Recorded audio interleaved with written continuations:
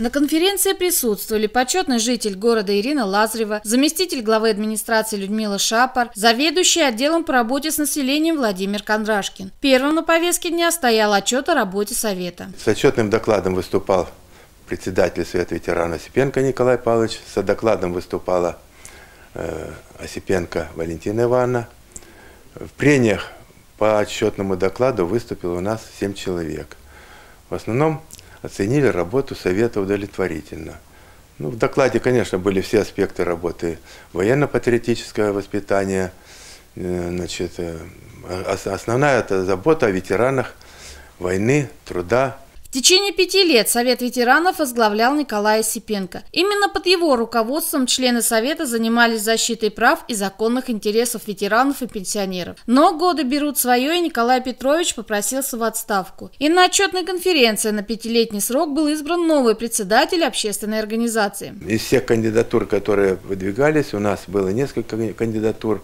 На конференции у нас в основном э, делегаты конференции голосовали за две кандидатуры. Это Скварский Александр Анатольевич, это бывший, ну, он не, бывший, говорят, офицеров не бывает, офицер в запасе. Вот, и моя кандидатура. При голосовании голосовали у нас по уставу, голосуют только на конференции члены Совета. То есть члены Совета голосуют, ревизионная комиссия, э, счетная комиссия докладывает результаты, вот, и потом конференция уже утверждает итоги голосования.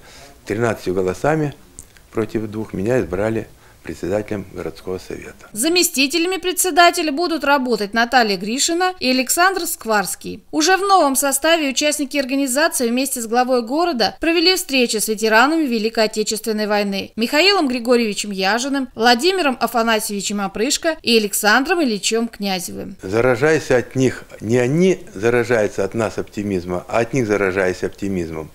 Настолько оптимистично, настолько они такие вот позитивные люди, все они рассказывают охотно рассказывают, делятся воспоминаниями. Вот. У всех ясная память. И вот когда мы пришли, действительно, они вот тут стараются вот нас как-то и посадить, усадить, чтобы мы с ними посидели.